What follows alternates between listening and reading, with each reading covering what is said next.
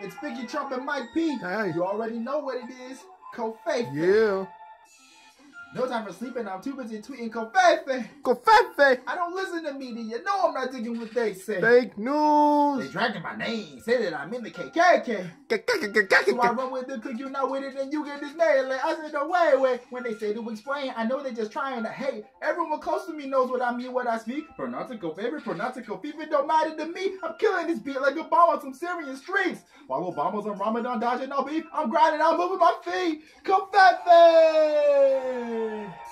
Confetti! MC Penton, the game, pay attention, we make these intended mistakes. We do. You're a demo if you don't comprendo or maybe not get educated. Learn. Back in my heyday, like 1888, Kofe was an A grade phrase. Made with a name taste, he was a great, great grand name, name, a great bait, posting lame base jokes like Pepe and that dead ape. Y'all paste clones in this day and age.